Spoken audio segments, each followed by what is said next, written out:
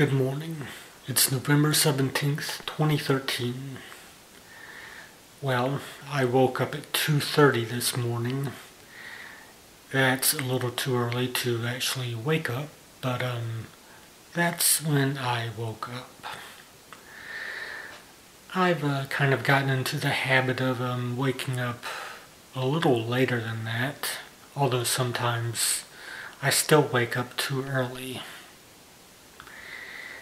And instead of uh, going back to sleep, since I wasn't really that sleepy and I thought it was kind of later than that, I decided to uh, just watch um, uh, my uh, video blog from 2010 and I made it up until June of that year and I decided to uh, just stop watching it and get up. Well, the Leonid meteor shower peaks tonight. It usually starts around November 13th and ends around November 21st, but it's not really that active until the night of November 17th and 18th, which would be tonight.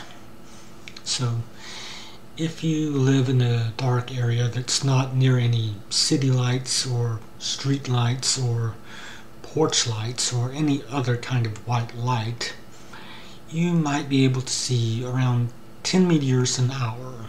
Yeah, it helps to be away from any kind of light when you're looking for meteors or doing any kind of general stargazing because they tend to blind you and they make it harder for you to see any kind of faint objects in the sky. You can use flashlights with red filters because they usually don't blind you but any kind of white light, yeah, that's something to be avoided. Anyway, I guess that's it. Um, I think I'm just going to go ahead and uh, I'll take a shower and maybe eat some breakfast and uh, I'll wrap this up. My next video will be on the 23rd because yeah. So um well, until next time, I'll see you later. Bye.